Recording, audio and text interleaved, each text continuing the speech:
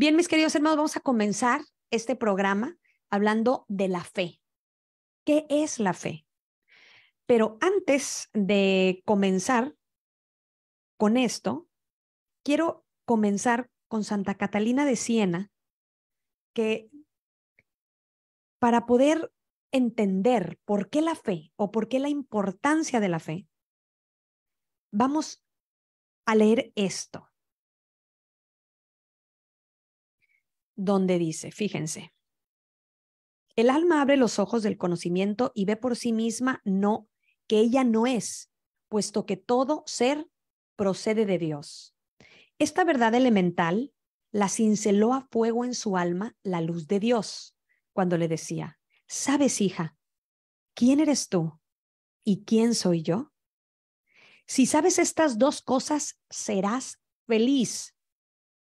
Vamos descubriendo por qué nuestra infelicidad. ¿Quién eres tú como criatura y quién soy yo como Dios. Tú eres la que no es. Yo, por el contrario, el que soy. ¿Recuerdan cómo se presenta a Moisés en la zarza ardiente? Yo soy es quien te manda. Si hay en tu alma este conocimiento, el enemigo nunca, no te podrá engañar. Te librarás de todas sus insidias jamás consentirás en cosa contraria a mis mandamientos y sin dificultad conseguirás toda gracia, toda verdad y toda luz. Algo tan sencillo, pero tan importante, el reconocer quién es el Señor y quién soy yo, nos puede llevar realmente a una libertad total. Catalina ve todas las cosas y se ve a sí misma a la luz de la gran verdad. El alma, según su doctrina, debe partir de aquí, de saberse el no ser, que es colocarse en el lugar que le corresponde. Humillarse nos suena a descender en un rasgo de virtud generosa, de un plano en el que nos corresponde estar a otro inferior que propiamente no nos correspondería. No, la humildad, fruto del conocimiento de sí, conforme más nos vamos conociendo a nosotros mismos, va surgiendo esa virtud de la humildad necesaria que vamos a aprender más adelante para tener fe. En el sentido de Santa Catalina, es una humildad substancial. Nace del conocimiento cierto de la propia naturaleza de la criatura, o sea, del que por sí mismo no tiene ser, sino que lo tiene del único que lo tiene en sí y puede darlo. Hay algo importante, esto lo vemos del libro Diálogo de Santa Catalina de Siena, algo importante que nos cuenta también el padre Santiago Martín en las escuelitas de agradecimiento, si nadie está en esas escuelitas de agradecimiento, se los recomiendo bastante también. Pueden buscar al padre Santiago Martín en su página Magnífica TV y decir que quieren estar. No saben cuánto se aprende ahí. Estuvimos viendo un tema en relación de la ruptura de Dios. Primero viene esa relación, esa ruptura de Dios con el hombre. Luego viene la conyugal y luego la del hermano. Pero solamente me voy a basar rápidamente en la ruptura de Dios y el hombre. Finalmente nosotros, por amor, fuimos creados. Y el Señor nos dio el máximo regalo que podemos tener, que el hombre puede tener, que nadie nos puede quitar, que es la libertad, ese libre albedrío. Pongo delante de ti la bendición, la maldición, escoge lo que tú quieras. Y por medio de ese libre albedrío, nosotros decidimos. Y es por eso que Adán y Eva decidieron, hicieron su decisión. Se dejaron engañar por la serpiente antigua y recuerdan que le dice, seréis como dioses. Tal vez ahí no entendieron que ellos eran criatura, que no eran dioses. Por eso les leí esto de Santa Catalina. Si tú y yo nos ubicamos en el lugar que tenemos que estar como criaturas, en el lugar de abajo de Dios, todo sería muchísimo más fácil y entenderíamos más. Pero ¿qué pasa? A veces queremos ser como dioses y no lo somos. Bien. Vamos a ver qué es lo que nos comienza a platicar la beata Concepción Cabrera de Armida de esta fe, de esta virtud perfecta. Una de ellas es la fe. Solamente hablaremos de la fe. Está la fe, está la esperanza y está la caridad.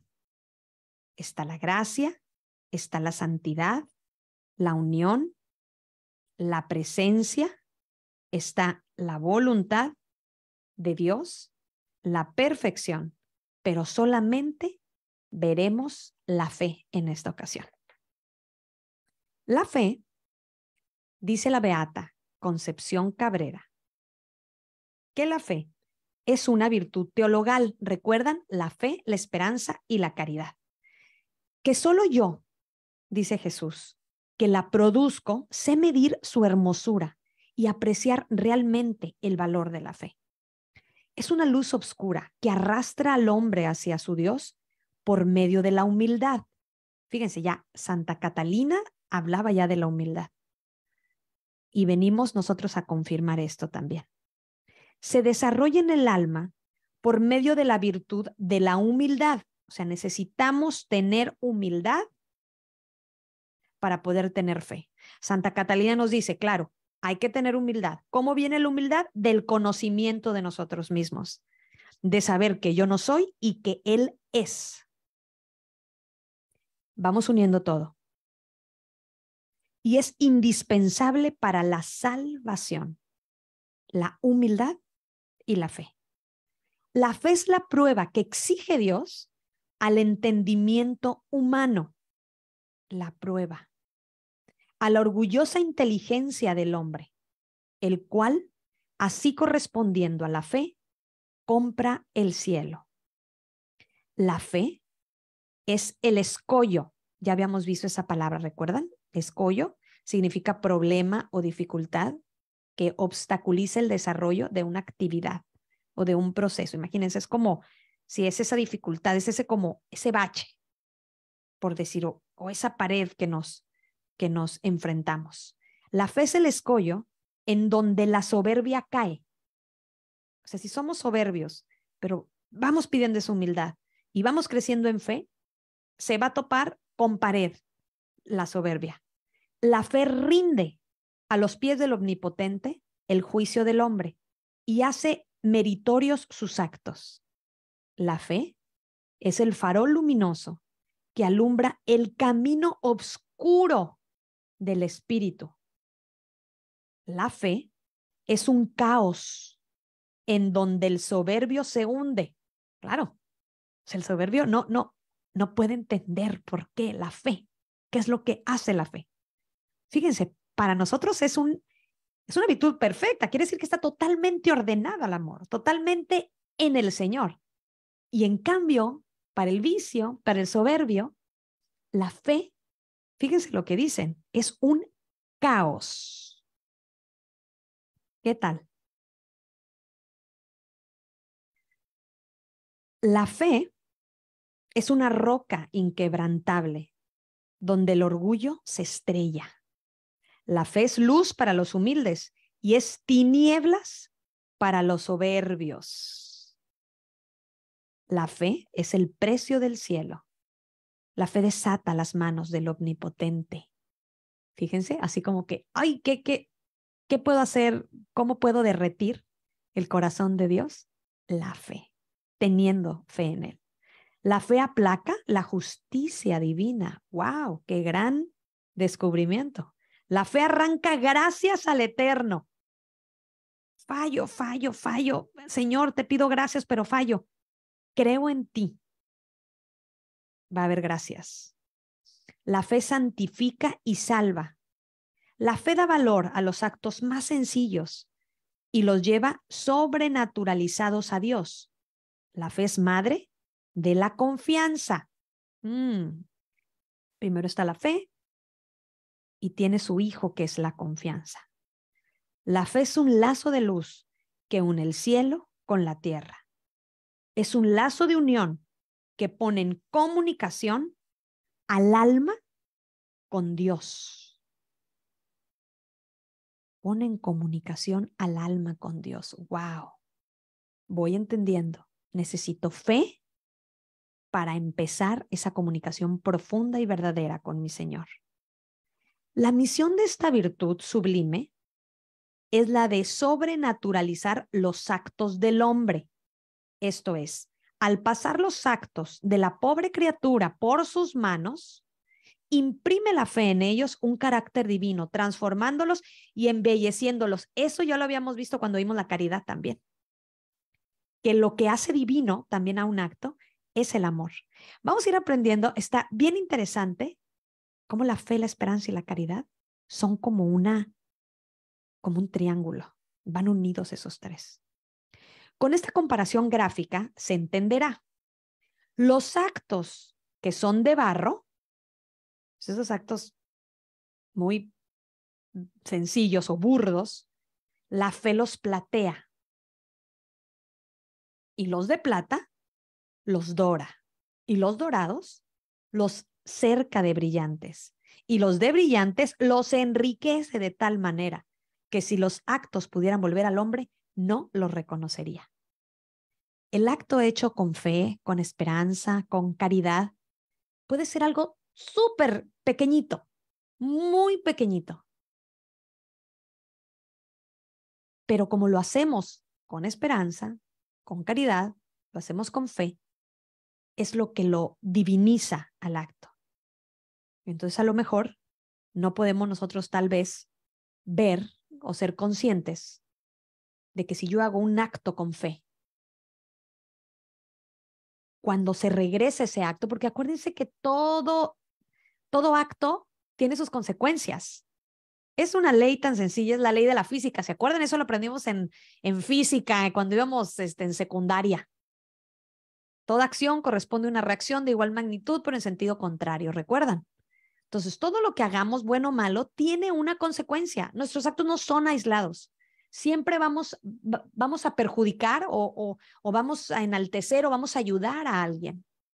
Entonces, todo ese acto hecho con fe, aunque sea muy pequeñito, pero lo hago con fe, el Señor se encarga de subirlo. O sea, un acto pequeño, como dice, de barro, lo platea. Y si es un acto más grande, híjole, pues lo doy. Y todavía si es un grande, es un acto todavía más grande, dice, los dorados los cerca de brillantes y los brillantes los enriquece todavía más arriba. Entonces, tal vez nosotros nunca nos vamos a dar cuenta de un acto hecho con fe. Ah, yo pienso que hasta que se nos muestre en el libro de la vida cómo, cómo, cómo, cómo regresa hacia nosotros engrandecido. La fe es el fundamento de la perfección. Mm, me quiero perfeccionar, necesito comenzar con la fe. Quiero irme perfeccionando en mi vida necesito el fundamento, necesito esas virtudes teologales, fe, esperanza y caridad. Ok, estamos con la fe. La fe es una luz especial del cielo con que el alma ve a Dios en este mundo. Es un rayo de luz que ilumina el rostro de Dios, haciéndolo visible al alma. Necesito fe, necesito pedir fe para poder tener ese rayo de luz para poder que el rostro del Señor sea visible a mi alma. Es la vida, la fortaleza del Espíritu. Es el sol que lo calienta, lo ilumina, haciéndolo crecer siempre en perfección y santidad. ¿Qué importancia tiene la fe?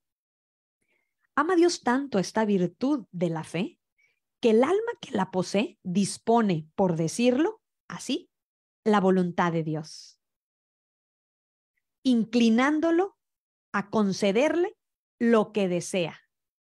Fíjense, cómo teniendo fe, que es que es la confianza en el Señor. Pero si ya vimos que la, que la fe es, es, mamá de la confianza, entonces todavía es una confianza mayor. Miren cómo el Señor va inclinando, va inclinando, fíjense, inclinándole a conceder lo que desea. Mira, aquí, por ejemplo, mire nada más a ella, a él, que, que, que me tiene fe, que confía en mí, que está, pareciera que Dios lo, lo, el corazón del Señor lo inclinamos, vamos a concederle, ¿no? Con la Santísima Trinidad vamos a concederle lo que desea, siempre y cuando es la voluntad de Dios, pero ya dijimos que tener fe, que, que, que, que es eso, es por así decirlo, el alma que posee tiene la voluntad de Dios. Es una virtud a la cual Dios no se puede resistir, a la que tiene dado su poder, pero se entiende qué fe, la fe, pero la fe del alma humilde, la fe del humilde. Eso es importante porque a lo mejor tú y yo podemos tener fe, pero igual, y somos unas personas todavía muy soberbias. Entonces, por eso no hemos movido el corazón de Dios hacia las cosas que deseamos. Recordando un poco, la humildad es el cimiento, es el fundamento de todas las virtudes. Fíjense, aquí volvimos a ver también, fundamento de las virtudes, o sea, primero está la humildad y luego arriba necesito humildad para poder tener la fe, la esperanza y la caridad, pero ahorita estamos, les digo, hablando de la fe. Sin humildad no puede haber obediencia, sin el sólido fundamento de la humildad, que es la madre de todas ellas.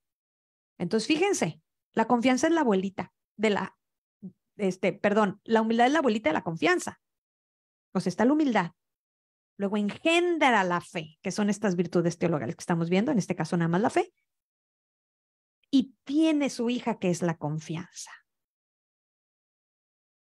Solo sobre ella arroja las perlas de sus dones el Espíritu Santo, sobre la humildad.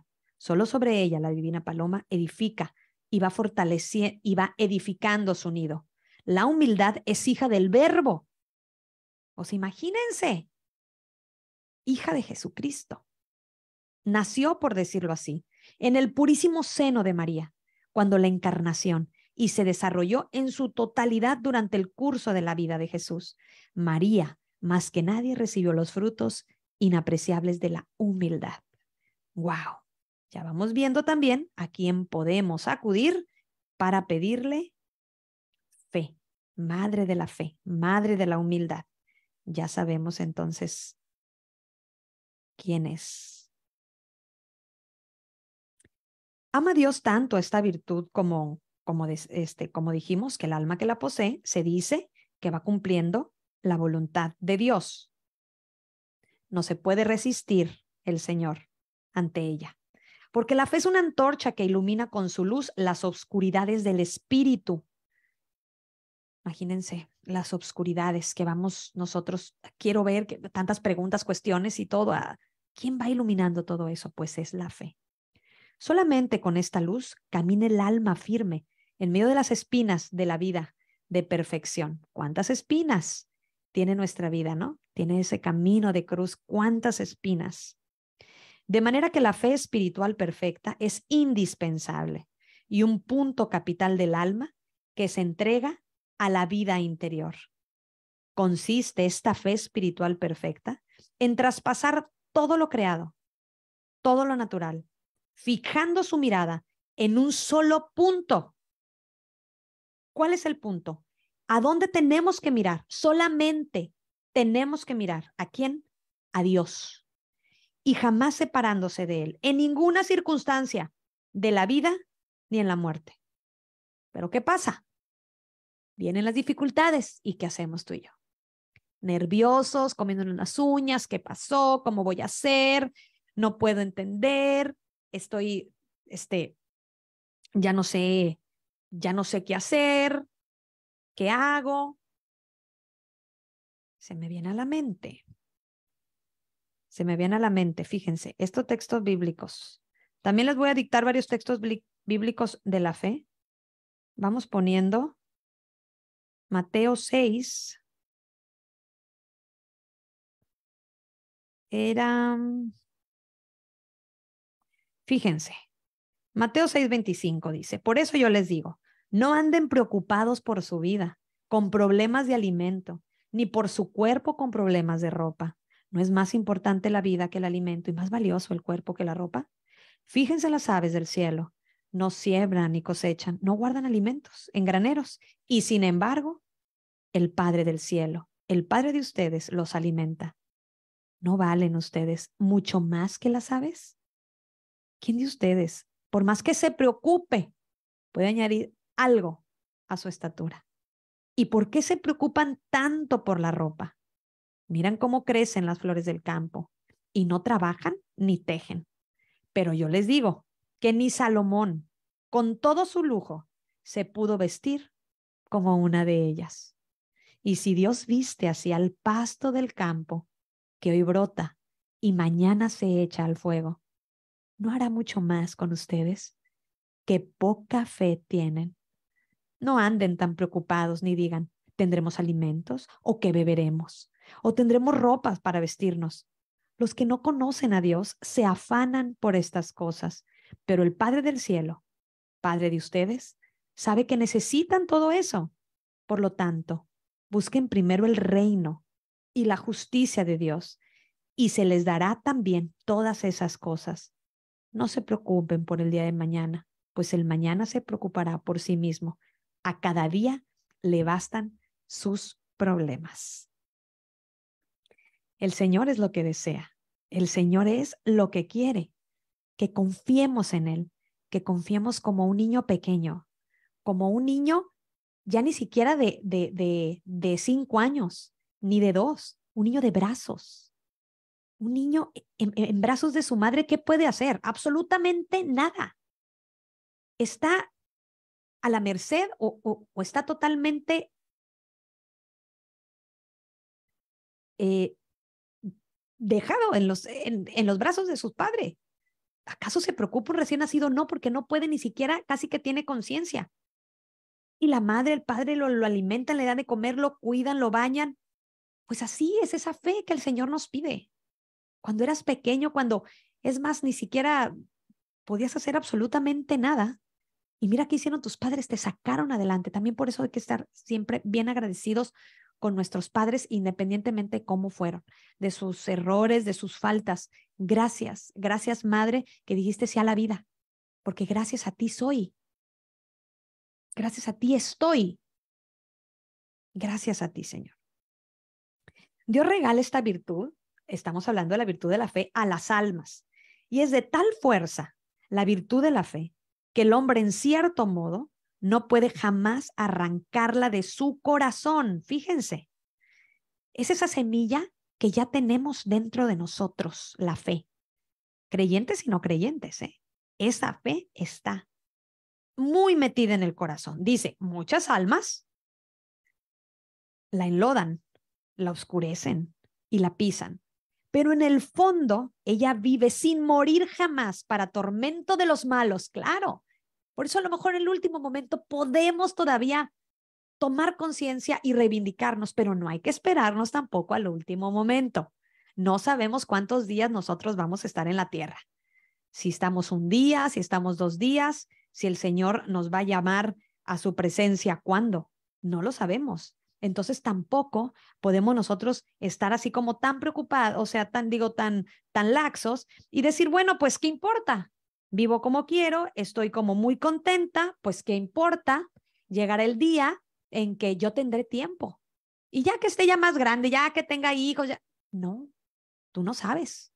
Aparte, si no pelamos rodilla desde ahorita y si no pedimos no la conversión de nuestros hijos y no la conversión del marido, ni de la suegra, ni de las concuñas y cuñadas, no, ni de los hermanos. Hay que pedir nuestra conversión si tú y yo no nos, no nos convertimos hoy o no le pedimos al Señor con fe, con esa confianza, Señor, tú que eres capaz de resucitar un muerto, conviérteme, Señor, inclina mi corazón hacia tus mandamientos. Esa, esa fe que el Señor está buscando, de reconocer que dentro de nosotros, ¿qué es lo que sale dentro de nosotros? ¿Qué es lo que sale cuando te lastiman, te critican, te aniquilan, te calumnian? ¿Qué sale dentro de ti? Alejamiento, ya no le quiero hablar, salen blasfemias también de tu parte. ¿Y qué dice el Señor? No, no, no, no, no. Ama, como yo amé. Él nos pone la prueba, pero vuelvo a lo mismo. Nadie ama lo que no conoce. Entonces, ¿cómo le hizo el Señor? Bueno, tengo que empezar a leer el Evangelio para ver de qué manera el Señor lo hizo. Y me está pidiendo que tenga fe. Esa fe que mueve montañas esa fe que está tan metida dentro de mí, que a lo mejor está chiquitita, pero hay que irle pidiendo al Señor con muchísima gratitud y, con, con, mucha confianza. Ahora sí que con mucha fe que aumente nuestra fe. Ella le repite siempre, fíjense, esa fe oculta, oculta que aunque no la conozcamos, ahí está, en la semilla de ese familiar que pensamos nosotros que no la tiene. Dice, ella le repite siempre que hay un Dios justo y nunca puede callar esta voz. El alma nunca la puede callar. Dulce para los buenos y terrible para los pecadores obstinados. Claro, esa conciencia que oh, no puede ser, pues es el Señor. Y si la fe derrama en otras almas su luz e influencia divina, en las almas espirituales, como que la firma más y lleva todos sus actos y movimientos más allá de la tierra, a estas regiones del cielo, donde ella se sustenta, haciéndolas adquirir grandes méritos. Fíjese todo lo que podemos hacer o todo lo que el Señor hace con nosotros teniendo fe. La fe, aunque es luz, vive en la oscuridad, se envuelve con sus sombras, se percibe dentro del alma, haciéndola conocer o vislumbrar los escollos y las riquezas del espíritu, pero muy pocas veces se exterioriza, o sea, está dentro de nosotros. Esta vida de oscuridad que purifica y da luz a las almas, fíjense cómo vive en la oscuridad, pero da luz a las almas. Ahorita vamos a ver por qué vive en la oscuridad es la que hace adquirir el hermoso título de mártires de la fe. Es que acuerden que estas, estas, estas virtudes perfectas no son fáciles. El tener caridad no es fácil. El tener esperanza tampoco y tener fe tampoco. O sea, su madre ya vimos que es la humildad. Y la madre de, de la humildad ya vimos que es el mismo verbo, es el mismo Jesucristo. Así que no es fácil mantenernos y el mundo va a tratar por todos los medios de quitarnos eso. La vida del espíritu es vida de martirio, es decir, vida de cruz, aún en el ejercicio de las virtudes. Entonces, si tú ahorita vas por la vida y si vas todo tan fácil y si crees que tienes esas virtudes y que todo está hermoso y que la vida con el Señor es, claro, es gozo, pero pues gozo en el sufrimiento. O sea, si, si, si estamos así como, como que si estuviéramos en el cielo, pues a lo mejor algo está pasando, como que no, no, no, no hemos entendido muy bien. Y no porque estemos aquí sufriendo y sufriendo, pero, pero finalmente, como no somos perfectos, el Señor va mandando pruebas a nuestra vida y nos va purificando. Obviamente, cada vez que vamos subiendo como un escalón y digo, ah, ya lo logré. Antes a lo mejor eh, no confiaba en el Señor, antes estaba muy nerviosa, no ahora. Ya, Señor, estoy contigo, me abandono a ti. Bueno, ya voy subiendo. Bueno, el Señor va derramando esa seguridad todavía. Tienes fe, te va dando más fe, más fe, pero es en un camino sinuoso. O díganme, por favor, la gente que nos está escuchando, ¿o acaso tienen una vida perfecta? ¿O acaso su vida familiar es totalmente hermosa? Mm, díganme, al, menos yo no me he topado ahora con una persona así, pero bueno, a lo mejor ustedes son los primeros. La fe rasga el velo de los misterios y el alma que posee esta virtud de la fe siente y a veces como que ve mi presencia real en la Eucaristía. Fíjense, qué regalo. Cada vez ver esa presencia real de nuestro Señor en la Eucaristía. Este es misterio de fe por excelencia y misterio de amor. El alma pura se ve arrastrada por este misterio de fe. Y si no contempla en el adiós cara a cara, su esplendor al menos la vislumbra. Recuerden que no podemos ver al Señor cara a cara y seguir viviendo, pero, pero, pero su esplendor al menos la vislumbra. Su mismo ardor la consume. Y con la viveza de la fe se anonada ante la grandeza de la Eucaristía. Se hace, se hace pequeño, se reconoce que no es y reconoce al que es, comprendiendo con luz sobrenatural algo del amor de Dios. Fíjense qué hermosura, qué cosa nos tiene aquí el Señor.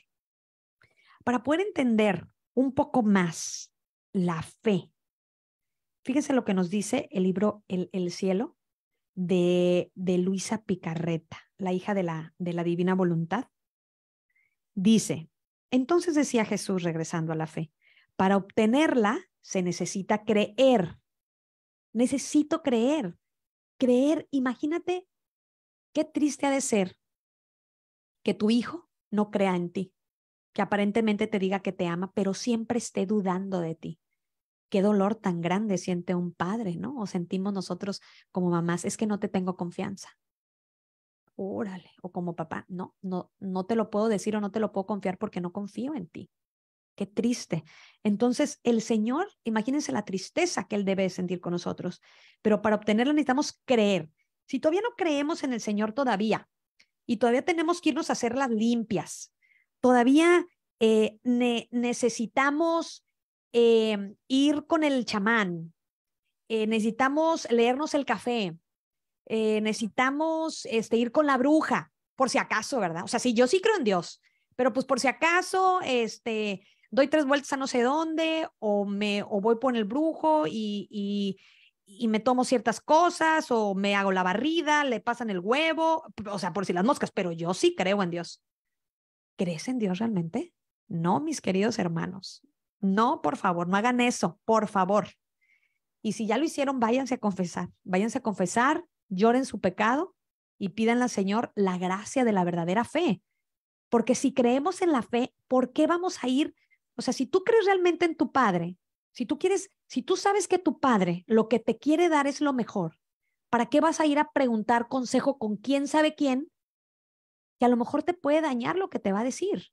Pero tú sabes que tu padre viene con recta intención, quiere lo mejor para ti, entonces, ¿a dónde andas?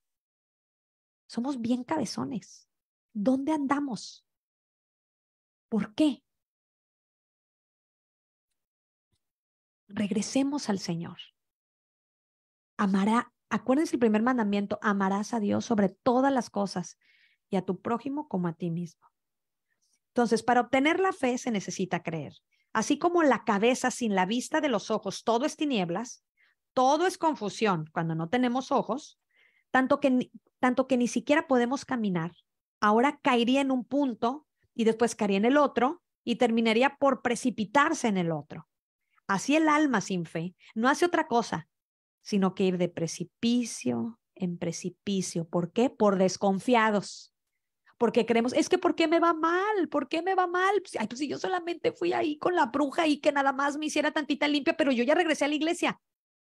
Bueno, ¿ustedes creen que tenemos un Dios tonto? De verdad, a veces, a veces me pongo a pensar, bueno, ¿tú crees que el Señor no ve tus intenciones, no ve a dónde andas, aunque a nadie le digas? Pues claro que Él ve. Y ve también esa desconfianza, por eso vas de tumbo en tumbo, de caída en caída. Renuncia, renuncia, renuncia absolutamente a todas esas cosas que te tienen esclavizado. Y el Señor lo que desea darte esta mañana es libertad. Libertad por medio de, del conocimiento, de que te reconozcas que tú no eres y que reconozcas que Él todo lo puede. Él pudo él pudo recuperar, ¿se acuerdan que dice, yo no entrego, este, eh, o sea, no me quitan la vida, sino que yo la doy voluntariamente. Y mi padre me ha dicho que yo la puedo recuperar y así fue. ¿Y tú crees que, que, que él no es capaz de resolver todo tu maraña emocional, mental, todo lo que tú traes dentro? Pero necesitamos creerle. Porque la fe sirve de vista al alma necesito fe para que mi alma, por decir, tenga ojos, ¿no? Y como luz que la guía a la vida eterna. O sea, no voy a llegar a la vida eterna si no tengo fe. Ahora, ¿de qué es alimentada esta luz de la fe? Por la esperanza. ¿Ok? La fe se alimenta por la esperanza. ¿Y de qué sustancia? Es esta luz de la fe y este alimento de la esperanza, la caridad. Fíjense qué hermosura. Estas tres virtudes están injertadas entre ellas. O sea, fe, esperanza y caridad es así como un, es así como ese, eh, ese cordón, esa trenza. De modo que una no puede estar sin la otra. Entonces, si pedimos fe, imagínense qué hermosura. Así como hemos dicho que una virtud llama a otra virtud y la va agarrando, pues imagínense, si pedimos la fe, Señor, dame fe, haz de cuenta que se van a empezar a acomodar, acomodar, acomodar y van a empezar a, a decir, este, a ver, yo la voy a alimentar, va a decir la esperanza, yo voy a alimentar esta fe, pero no se va a quedar atrás y le va a dar más luz y va a dar todavía más alimento a la esperanza, la caridad. No se quedan atrás una de otras, quieren, quieren estar esas tres juntas. Qué hermoso, ¿no? Una virtud arrastra a otra virtud. La fe, ¿cómo va siendo nuestra fe? Algunas cosas que escribí en mi, en mi em, cosas de talleres de oración y vida. El padre Ignacio Larrañaga, pues nos dice, fíjense lo que nos dice, ¿qué es la fe? Nos comenta que nosotros aquí en este mundo, bueno, la fe no es sentir, sino es saber, no es emoción, sino convicción, no es evidencia, sino certeza. Nos dice que en este mundo entonces, como caminamos como en la oscuridad, somos como peregrinos, peregrinos, no turistas. ¿Has viajado tú como turista o te has ido últimamente de viaje?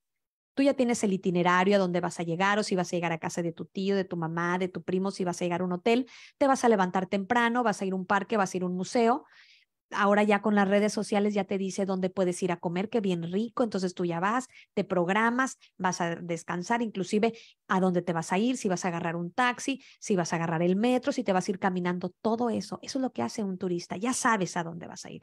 Pero un peregrino, ¿qué es lo que hace un peregrino? No sabe dónde va a dormir.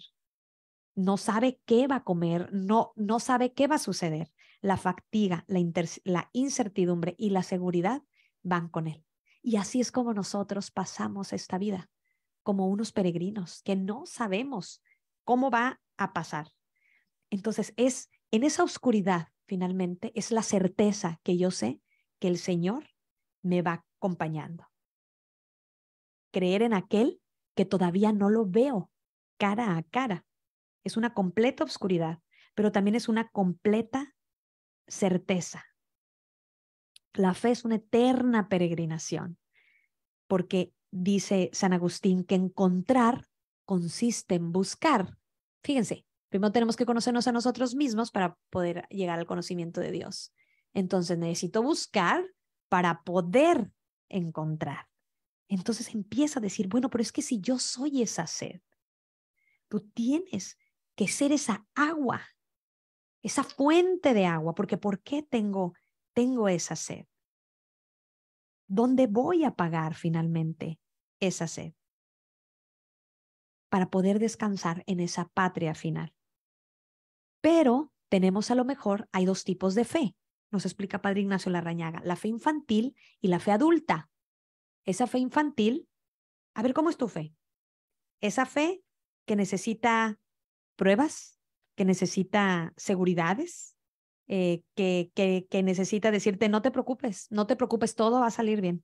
Aquí, aquí todo, tú, tú no te apures, tú de esta, tú vas a salir adelante y todo va a estar muy bien. Esa es la fe infantil, la que necesita pruebas, seguridades de dónde agarrarte. Infante, como dice infante, ¿no? Que necesitas ayuda. Pero esa fe adulta es aquella que pide esa fe que tuvo María en su hágase, en su sí, en su fiat. Es la fe que nos invita también a vivir el Señor. Creo, creo totalmente, creo. Y finalmente dice que finalmente, ¿verdad? Ese creo, pero siempre va a surgir como esa duda, ¿no? Que no quieres preguntar y preguntas cómo será, qué será, qué pasará.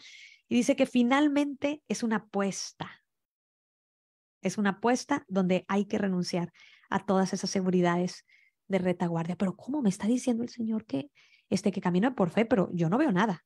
Yo veo que mi marido sigue igual, yo veo que mi hijo sigue igual, yo veo que, que, que, esto es un caos, yo veo que mi matrimonio va para abajo. Yo, yo, yo veo pura desolación, eh, muerte, guerra, yo, yo veo, pero, pero, pero ¿qué pasa?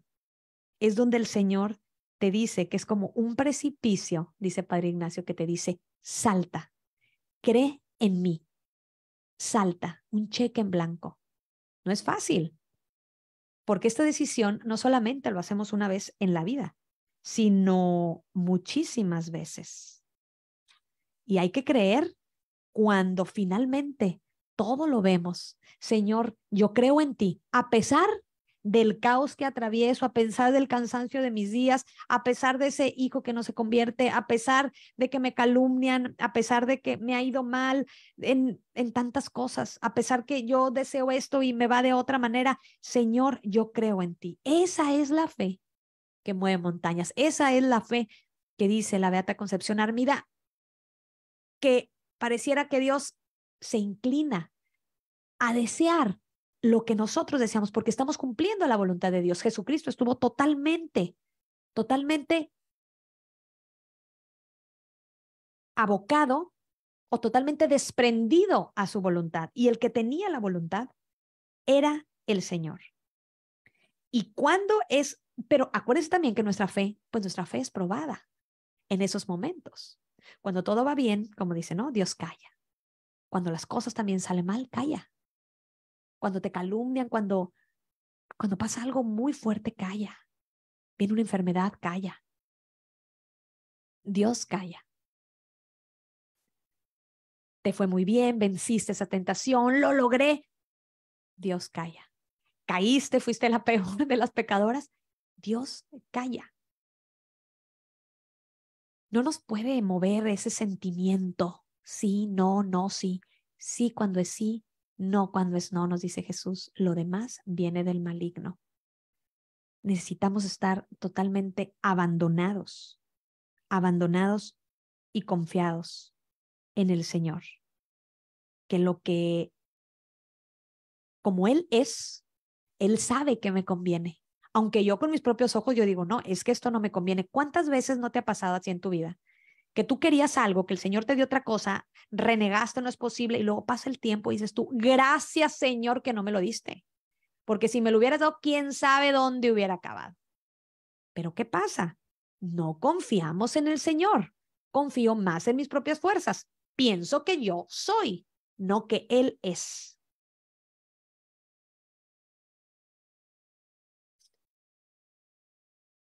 Todos hemos tenido esas, esas dudas, esas preguntas, ¿no? Como, como Jesucristo también dice este Padre Ignacio Larrañaga en, en, el, en el Calvario, cuando vive esa, esa agonía, ¿no? Cuando dice, este, cuando dice, Señor, Señor, ¿por qué me has abandonado? Cuando Él se queda absolutamente solo y bueno, en tus manos encomiendo mi espíritu. Y después de eso, muere resucita y abre las puertas del cielo, que gracias a eso, gracias a toda esa peregrinación, gracias a todo ese sacrificio, gracias a todo ese calvario, gracias a cumplir totalmente la voluntad de Dios, por fin pudo abrir las puertas del cielo. Alguien, solamente Dios mismo podía hacer eso, abrir las puertas del cielo para que nosotros regresáramos a Él porque antes estaban cerradas, después de Adán y Eva. No había eh, camino de regreso. Y hay que estar realmente agradecido por eso. Hay que creer en el Señor. Y si todavía tenemos muy poco que creemos, bueno, hay que pedirle a Dios que aún más y aún más nos conceda la gracia de creer. Antes de terminar, me gustaría hacer una reflexión del libro Yo Soy, que también es de la editorial de la Cruz, que son, son conversaciones de Jesucristo también con la Beata. Y quiero compartirles. Me, me encantaría que disfrutaran, que si están haciendo algo, se sienten, que cierren sus ojos, que meditemos en esta reflexión que se llama Yo soy. Jesús sale al encuentro de los que van a aprenderle. Viene al cobarde que siempre huye del dolor y de cualquier cruz para enseñarle la fuerza de la virtud y del amor que nada teme. Y dice Jesús, eso se basó en Juan 18, 5, 8. Yo soy, contesté a la turba de soldados que en la noche de mi pasión salieron a prenderme, haciéndolos caer en tierra. ¿A quién buscan? les dije. Luego, que los hube levantado y me respondieron, a Jesús Nazareno. Ya les he dicho que yo soy. Ahora bien, si me buscan a mí, dejen ir a estos. Juan 18, 7, 8. A mí, préndanme, pero a mis discípulos, a los míos, no los toquen. Tal es mi amante corazón. Yo soy ese mismo Jesús, aunque en opuestas circunstancias, porque yo sé que tú me buscas, no como verdugo, sino como hijo muy amante de la Eucaristía. Me buscas como al dueño de tu vida, para reparar el olvido de los ingratos y consolar mi corazón lastimado por tantos crímenes. Ven a mí, que soy yo el que vengo a pedirte tu amor, tu ternura, tu cariño y tus lágrimas, tus sentidos, pensamientos, dolores y un corazón puro en donde reclinar mi cabeza. Yo soy que te amo hasta el punto de venir a ser tu diario alimento, comunicándote mi propia sustancia. Yo soy el que te amé y me entregué por ti. Gálatas 2:20. Porque el verdadero amor no mide los calvarios, no pone condiciones y se lanza con santo entusiasmo a los sacrificios por el amado. Yo soy el que murió clavado en una cruz para comprarte el cielo, para expiar tus crímenes, haciéndome esclavo, pan, gusano y no hombre. Salmo 21, 7. Yo soy el verbo que me hice carne para probarte, mi amor, para conmoverte hasta lo más íntimo, para oír hoy de tus labios un te amo. Hasta esa locura llegó mi infinito amor por ti. Ven a probarme tu gratitud, a contarme tus aspiraciones, tus deseos, tus esperanzas, tus penas y cuánto te aflija para consolarte. Venid a mí todos. Vengan a mí los que van cansados, llevando pesadas cargas, y yo los aliviaré. Carguen con mi yugo y aprendan de mí, que soy paciente y humilde de corazón y sus almas encontrarán descanso, pues mi yugo es suave y mi carga liviana.